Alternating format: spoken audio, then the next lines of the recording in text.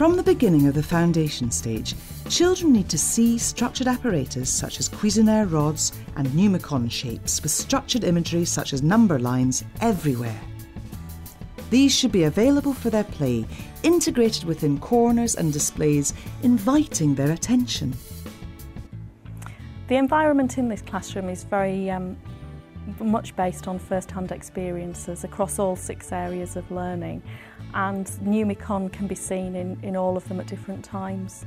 We use signs on the walls showing how many children can play in, in an area, right through to the plates actually being in the um, water or in the sand or in the Play-Doh.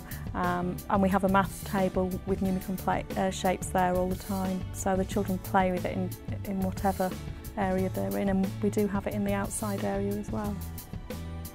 Incorporating numerals alongside structured imagery helps children connect classroom experiences with the use of numbers in the everyday world. Numbers are used within the classroom to help the children to develop their independence. Um, we number the drawers, um, not just for the, the mathematical equipment, things like scissors and glue. So if someone says to me, you know, I need some scissors, I say, well, you know they're in drawer number five, um, and off they go and they can, they can get their equipment. Number lines and a variety of structured apparatus and imagery should be clearly available at children's level, together with plenty of objects for counting.